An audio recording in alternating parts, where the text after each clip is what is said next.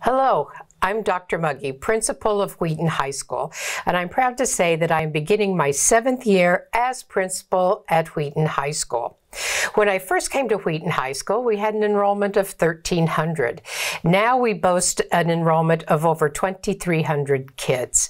I do believe it is due to our high academic standards and our academic programs here at Wheaton High School.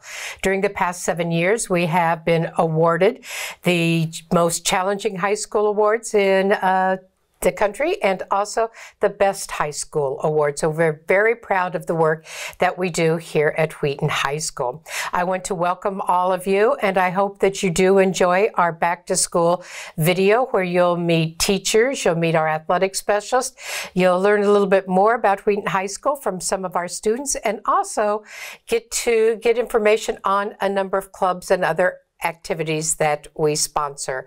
I think it's important that you really become active in Wheaton High School, not only in the classroom, but outside of the classroom. I wish we were able to meet in person today, but I look forward to meeting every single one of you in the future. Once again, welcome to Wheaton High School.